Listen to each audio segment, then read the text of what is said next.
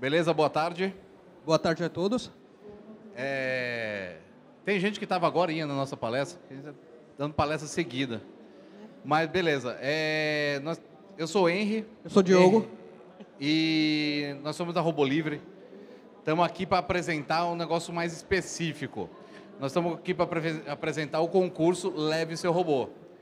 É, leve seu robô, no caso que a gente já está aqui, é traga seu robô, né? Então é o seguinte, é, eu acho que nós botamos lá na- no WhatsApp, no grupo também, quem é do grupo do Leve Seu Robô, e trouxe robô. Alguém trouxe robô aqui? Não? Mas beleza. Esse daqui é um concurso que a gente faz, um concurso cultural, que a gente faz há muitos anos na Campus Party, para que os, os campuseiros consigam trazer para cá robôs que eles criaram. Beleza? É, como a gente falou, robô não precisa ser aqueles humanoides, viu?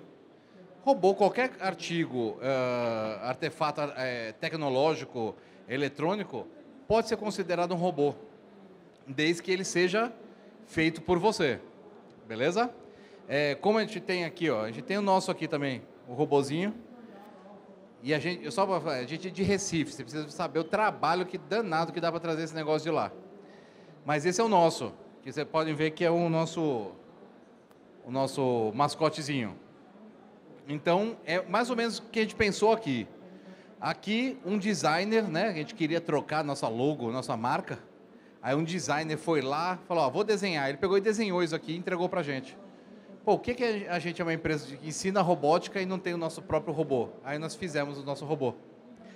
Beleza? É o Bole e ele vai estar andando pela Campus Party aí sempre. E vamos falar um pouquinho do concurso. Quem quiser participar. Se tiver alguém aqui que tenha robô, ah, que fez um artefato ou que vai participar da oficina de chão com o Alexandre Case Monstro, que vão fazer robôs também, todos eles podem participar, beleza? Eu vou falar um pouquinho da Robô Livre e de- na, na sequência, a, eh, Diogo já fala como é que se escreve, beleza? A Robô Livre, uma empresa que faz transformação através da robótica. O nosso, um dos focos principais hoje é através de instituições de ensino, é, de institutos. Então a gente está em alguns institutos, empresas bancam isso, né?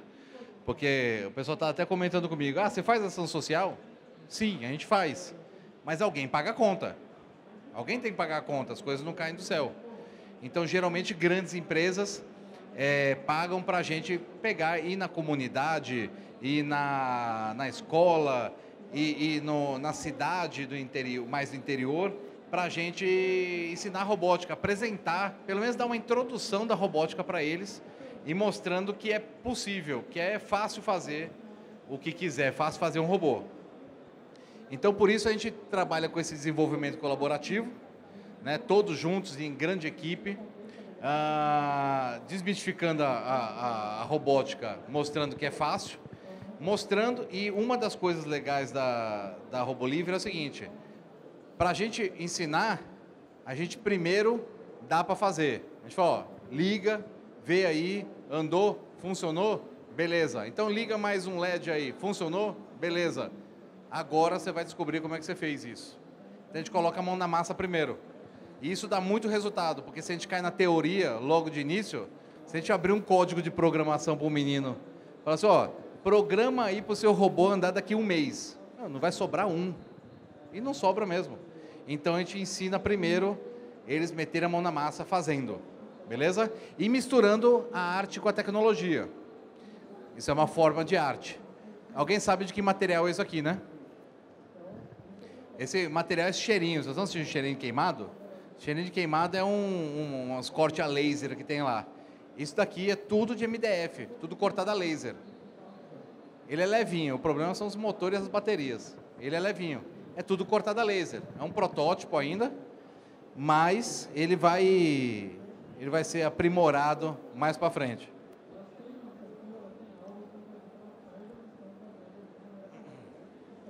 Então, quem quiser conhecer mais da Robô Livre, é, lembra que a gente da Robô Livre está fazendo junto com a Campus Party, junto com o pessoal da, da Casa da Robótica, que vai falar, vai fazer os merchan deles daqui a pouco, junto com o César, que é um centro de pesquisa avançada do Recife, é, e junto com qualquer patrocinador que quiser ajudar a gente a dar prêmio. Então, qualquer um que queira dar, ajudar a gente a dar prêmio, a gente, a gente ajuda. Quem quiser seguir a gente aí, é o Robo Livre, é, arroba, é, traço Robo Livre, né? Tem aí tudo, tem um monte de foto minha, quem quiser me ver muito, tem um monte de foto minha. O nosso Instagram, arroba Robolivre, novamente tem um monte de foto minha. Eu apareço demais nessas coisas. O, e isso daqui é o seguinte, quando a gente viu a oportunidade de juntar várias cabeças é, pensando em robótica, a gente poderia fazer várias coisas. Na minha época, o Orkut, né? Mas não é o caso. A gente poderia abrir uma página no Orkut, ou no Facebook, ou no Instagram, e falar, ó, vamos falar de robótica. Mas isso não acontece. Na verdade, eles só falam porcaria hoje em dia. A gente queria fazer alguma coisa, uma plataforma de desenvolvimento colaborativo. A gente fez a robolive.re. Uh, essa é uma plataforma que tem diverso N projetos de robótica totalmente open source. Você vai lá, pode copiar, pode perguntar para o desenvolvedor como é que ele fez, pode trocar ideia com ele. É o Facebook da robótica. Vocês podem entrar, pegar um projeto e fazer. A gente só pede o seguinte: melhorou, devolva a informação, porque quem fez também quer melhorar o dele. Então se troca muita é, muito conhecimento através dessa plataforma. Hoje a gente tem em torno de uns 6 mil é, inscritos falando de robótica e em torno de quatro países.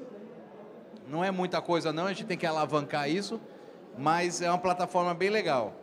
Tá? Quem quiser saber do simples, até uma escova, sabe aquelas escovinhas que lava roupa? A gente consegue fazer ela andar. É simples, não é? Alguém já viu isso? Uma escovinha de roupa andar? É simples, você bota, ó, vou explicar o que o pessoal faz em casa. Pega a escova de roupa, de preferência uma nova, não pegue da, da esposa, senão vai dar um trabalho triste para explicar. Bota o motor, amarra um, um pedacinho de papel para deixar ele excêntrico, bota uma pilha, liga e ele sai andando. Simples. É um robô? É, é um robô. Isso para crianças, as crianças pegam, passam uma horinha fazendo isso, já mexeram no seu ferrinho de solda, já mexeu na sua cola, cola plástica lá, cola quente, é, e ficaram felizes. Você precisa ver a felicidade deles que eles vão para casa com uma escovinha que anda, nada demais. E a felicidade dos pais sabendo que a pilha acaba em 5 minutos, que come uma pilha tremenda. Então, depois que tem que comprar um monte de pilha, o pai fica feliz também. Beleza? E essa é uma pergunta que a gente sempre faz quando, quando vai na, na, nessas, nessas escolas, institutos. Quem tem vontade de conhecer robótica? Porque muitas das pessoas não têm, é, não é que não tem a noção, mas não, não tem é, ao certo o conceito da robótica. Como eu falei, fala assim, ó, vou fazer um robô com certeza o cara espera que alguma coisa saia andando. E não é por aí. Nem todos os robôs andam. Beleza? Aí, alguns braços industriais. Aí todo mundo já viu. Em fábrica de carro. Não que vocês tenham ido à fábrica, mas já viram em vídeos. Isso aí faz carro. Agora vem uma questão legal.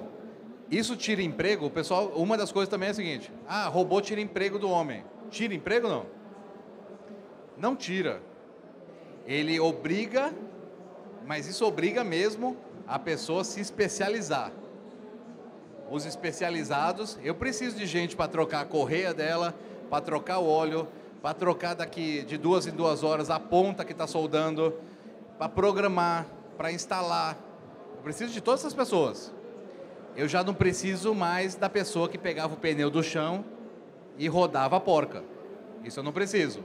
Então obriga, sim, qualquer tipo de robô a se especializar.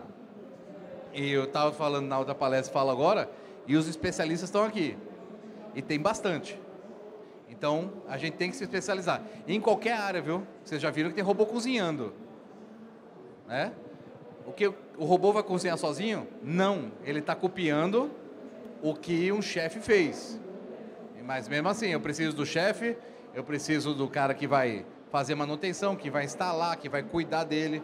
Eu preciso de todas essas pessoas. Alguém já viu isso aqui? Já viram? Esse daí é o Rumba.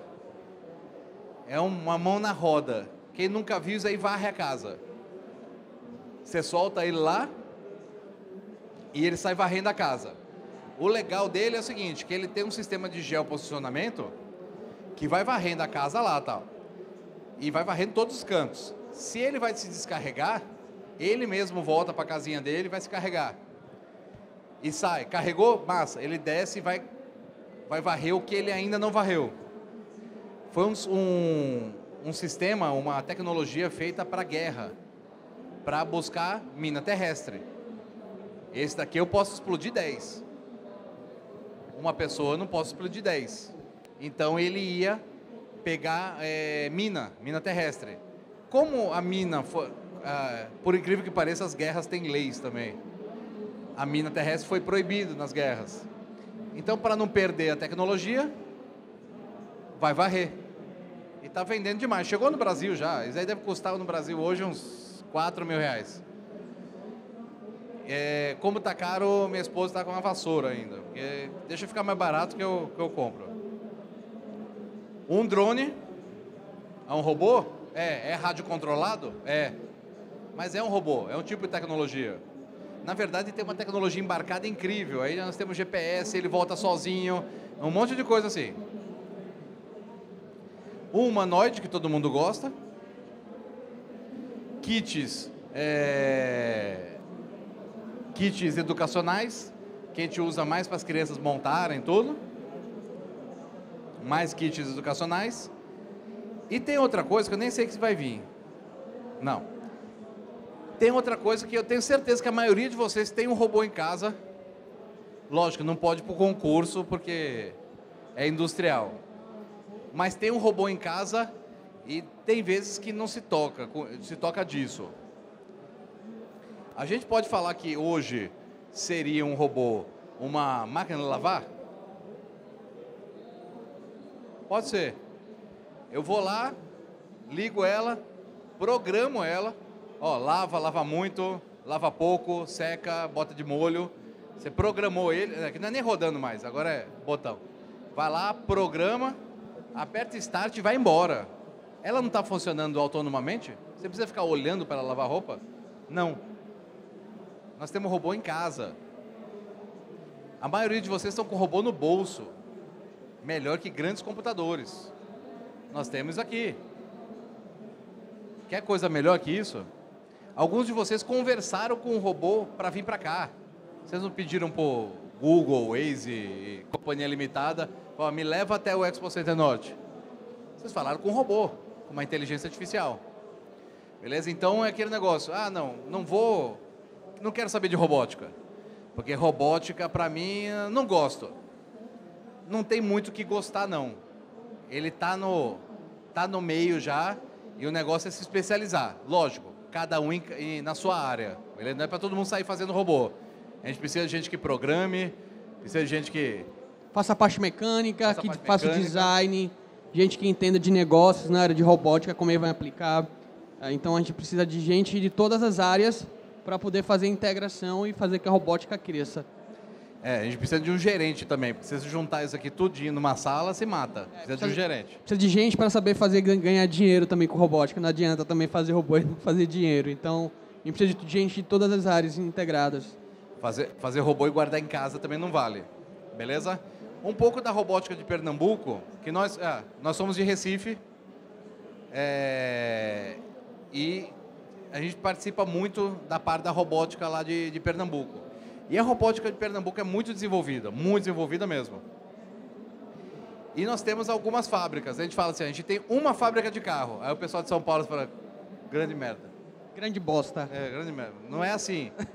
Mas por um acaso, a gente tem uma das fábricas mais tecnológicas do mundo em veículos. porque a gente é foda? Não. É porque é uma das últimas que fizeram. Então tem mais tecnologia. Só por causa disso. Se fizer a próxima em São Paulo, vai ser a mais tecnológica. Justo. Então nós temos uma fábrica da Fiat, aonde faz a Renegade, a Toro o e Jeep. a Compass. Então eles saem todos daí. E tá muito bonito, a gente já teve é, é, visitado por lá. E só nessa fábrica, para você ver, novamente, tira emprego dos outros, do braçal sim. Aí tem 8 mil robôs. Quantas pessoas para cuidar disso aí? Robô não é só esse negócio gigante, não. Todo sistema. Só nessa área aqui deve ter uns 50. Então, qualquer braço, qualquer coisinha é considerado um robô que pode ser programado, é um robô. Então tem 8 mil. A quantidade coisa... de funcionários aí é absurda. Uma coisa interessante dessa foto, eu sempre lembro de um negócio chamado de um envelope que tem dentro da indústria, que são áreas que se um ser humano entrar, toda a produção para por questão de segurança. É, imagina um braço desse girar e bater no ser humano. O cara vai morrer, obviamente.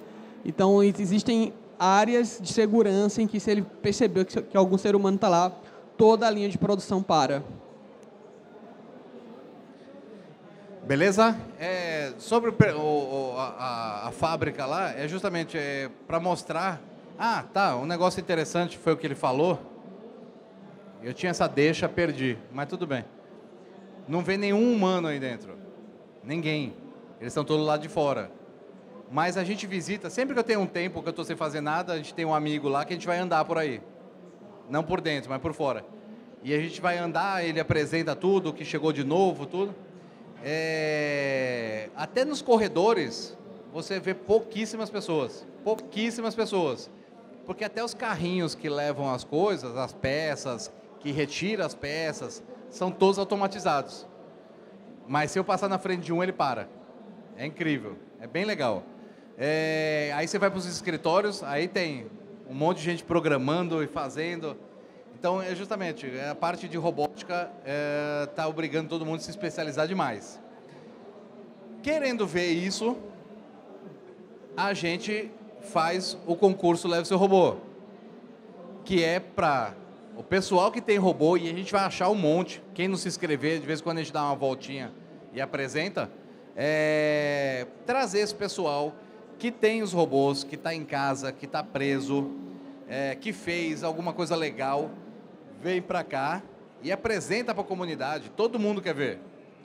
E esse concurso a gente traz justamente por isso. Vem apresentar.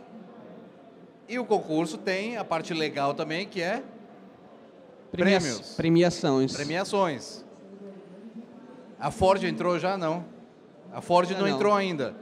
Mas tem a Casa da Robótica, que tem alguns prêmios. É, tem o César e tem a própria Campus Party. Então, quem ganhar tem ingresso da Campus Party. É, próximo ano. Ano que vem. Primeiro lugar tem entrada com barraca. Vou falar no, no próximo slide. Primeiro lugar é entrada com barraca, mas os brindes surpresas ah. é, dele. É, a gente vai falar, a ideia do concurso Leve Seu Robô é justamente essa, juntar as pessoas que trabalham com robótica para interagir e, e, muitas vezes é, dar uma mentoria de como ela pode otimizar aquele robô, de como ela pode transformar aquele um produto, conectar ela e melhorar. E, e a plataforma utilizada para isso é a plataforma robolivre.re, é, robolivre, www.robolivre.re, e quem junta as pessoas, como o Henry falou, é a, o Facebook do, da robótica. Né? Então lá você vai ter diversos projetos, desde uma impressora cortadora, é, de como uma, uma, impressora cortadora, um robô humanoide, o próprio Bole. Então, assim, qualquer tipo de robô você vai ter lá, você vai encontrar o projeto, a parte mecânica, o, a descrição dele, os materiais utilizados e tudo para deixar bem mastigado para você ter a possibilidade de criar seu robô. Se tiver com dúvida também, você pode mandar uma mensagem para a gente. Enfim, a ideia do, do concurso Leve Seu Robô é trazer essas pessoas e, e que essas pessoas se comuniquem, interajam e cresçam. E aí, como é que você faz para participar do concurso Leve Seu Robô?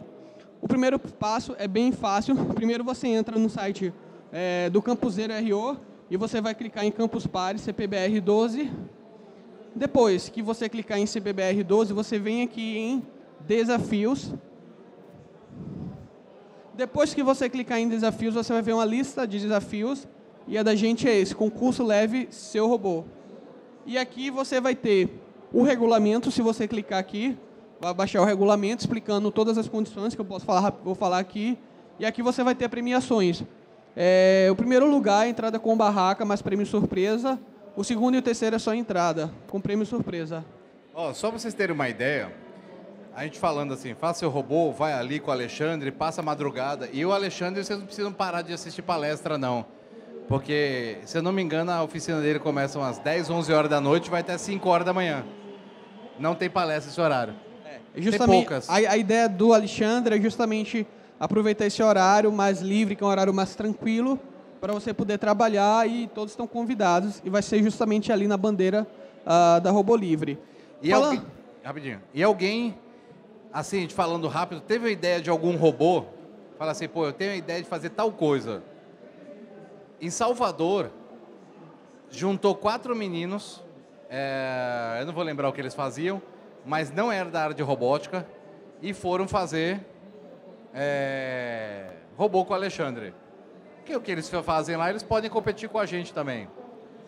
É, e eles fizeram um negócio super interessante, lembra? Só material reciclado, só material da Campus Party, coisa que tem aqui dentro.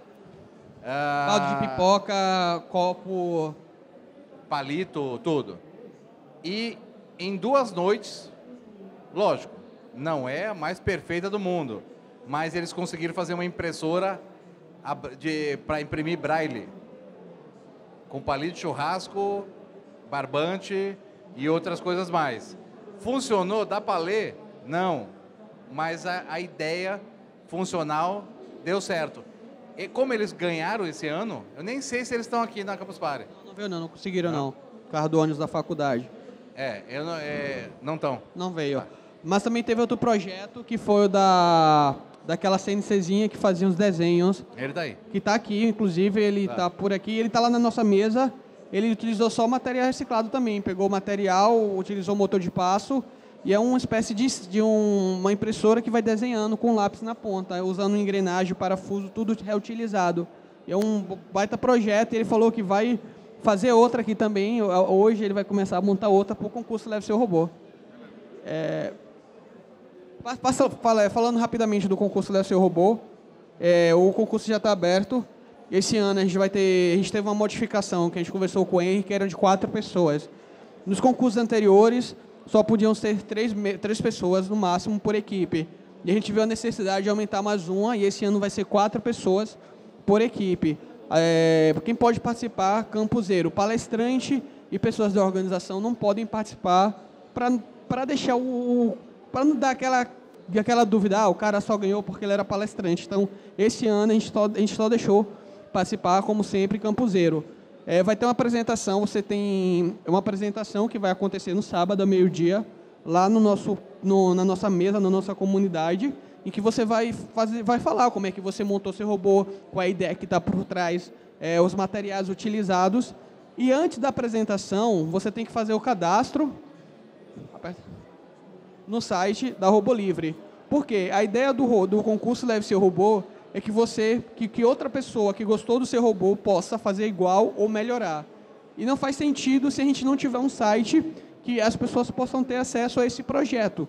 Então, nesse site da Robô Livre, você pode acessar ele, você vai ter milhares de projetos, e as pessoas participando do concurso Leve Seu Robô têm que criar um projeto e associar o projeto ao hashtag, é, ao hashtag concurso Leve Seu Robô dentro da Robô Livre. Qualquer dúvida, se quem tiver com...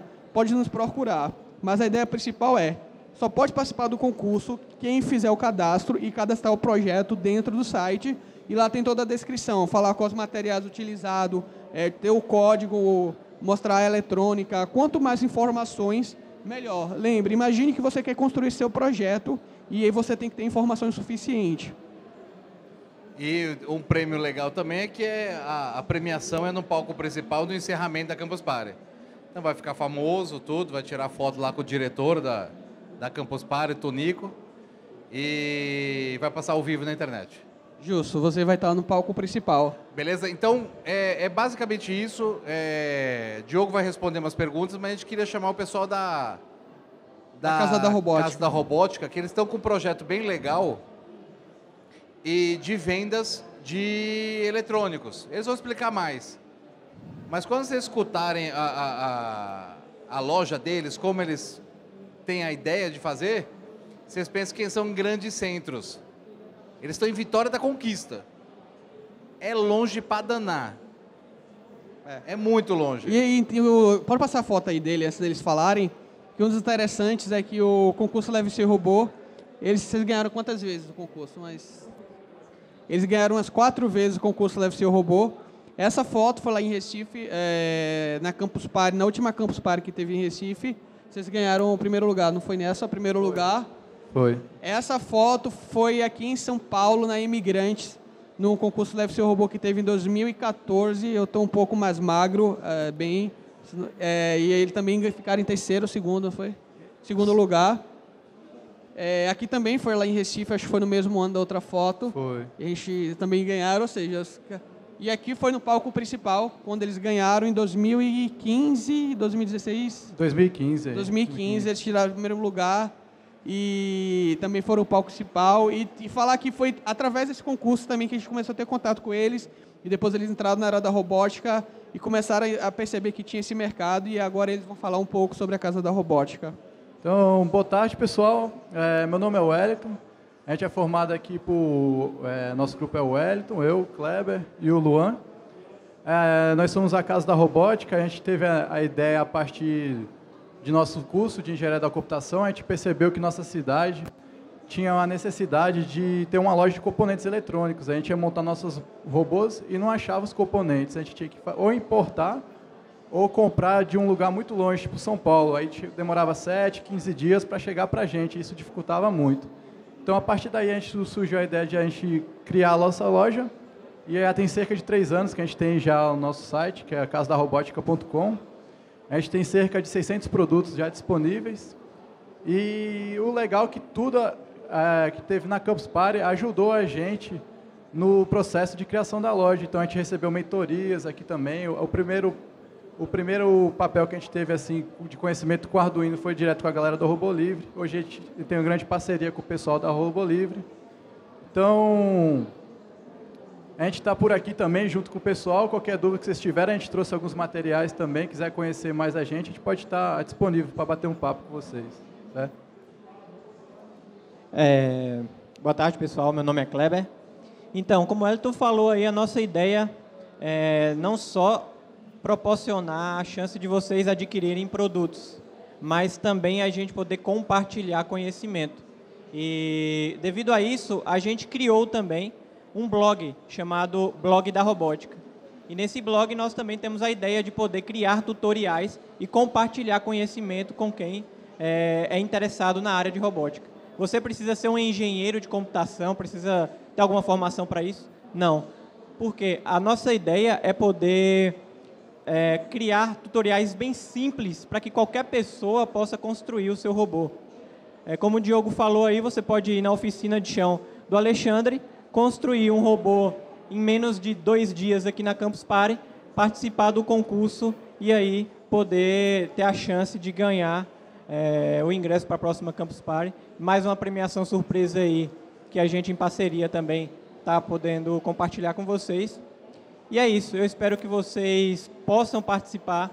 E o principal da Campus Party é poder compartilhar ideias uns com os outros. Às vezes você tem uma ideia que ela está presa e você conversando com alguém, essa pessoa já pode te ajudar a desenvolver aquele projeto e a partir daí surgir uma grande, um grande negócio a partir de uma pequena ideia. Então, o networking dentro da Campus Party é essencial. Funcionou com a gente e espero que funcione com vocês também. Obrigado. Obrigado. E só para lembrar, é, a gente vai estar junto com o Alexandre no, no evento e a parte toda assim, de, sobre Arduino, quem quiser iniciar em Arduino, a gente vai estar dando um mini curso hoje à noite, a partir das 10, 11 horas. Então, qualquer dúvida que vocês tiverem sobre Arduino também, vocês podem estar tirando com a gente também, para ajudar no projeto. É, o Alexandre vai Obrigado. dar oficina hoje à noite, na oficina de chão. E nessa oficina, quem vai dar a parte de Arduino é eles. E também quem tiver, quem quiser material, adquirir material, é só falar com eles. É, eles ficam falando, ó, se quiser falar com a gente, se quiser comprar, tem também, né? Não fica acanhado, não. Quem quiser comprar, tem. Isso, Beleza? E por, último, e por último comentário, esse cara que está aqui é o Josemar. Hoje ele é um dos responsáveis aqui pela Cana Campus, pela educação do futuro. Ele trabalha com robótica educativa e ele começou a mexer com robótica com a gente. Então também é mais um das pessoas que começaram a mexer com robótica com a gente no concurso e hoje estão aqui com a gente na Campus Party. Beleza. É, alguma dúvida? Perguntas?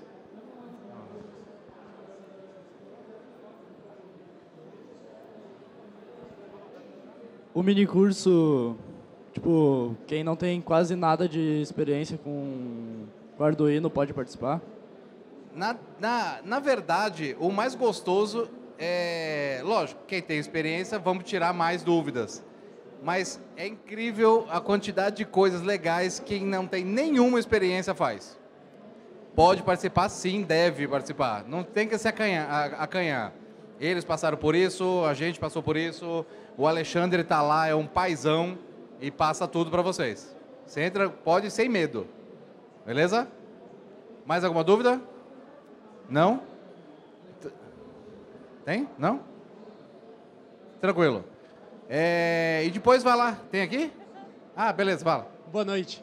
É, até quando que a gente pode inscrever a equipe? Ah, no concurso Leve Seu Robô, né, como a gente falou, a gente não dá o curso, a gente vai receber. Para o concurso Leve Seu Robô, dá para se inscrever até sábado de 9 horas da manhã. Entra lá, bota o projeto, tal, tudo certinho. Com o Alexandre, não sei. Eu sei que tinha umas 50 pessoas rodeando ele ali. Não sei nem se tem vaga mais. Mas ele é coração de mãe. Vai juntar. E oficina de chão é feita onde? No chão. Então aqui tem um espaço legal. Ele vai botar gente pra caramba aí. Beleza? É, tira uma dúvida. É, o concurso livre sempre tem nas edições anteriores e tem a perspectiva para as futuras? Sim, nós fazemos em todas as Campus Party é, que a gente está. Uh, ah, a gente está em quase todas. A gente, no ano passado a gente não teve Rondônia, mas o resto todas, a gente faz em todas. Então já, então já se prepare, há cinco anos já. Então, se... A intenção é essa mesmo. Então prepare, pode preparar o seu. Beleza? Então valeu. Tá? Valeu então, obrigado. E se tiver dúvida, nós estamos naquela bandeira toda colorida lá. Fizeram bem chamativa dessa vez. Beleza? Valeu, galera. Tchau, tchau. Tem aí? Fala aí. Não, eu só queria dar um conselho para a galera. O Rumba, eu, eu tive um. Não compra que é um péssimo produto, viu? O Rumba? É, é um péssimo produto. E eu, eu sou doidinho para ter um. Não compre, viu? Você vai que se arrepender. É caro danado. Bom, então vamos fazer o seguinte, a gente pega ele, hackeia e melhora. Beleza? Valeu.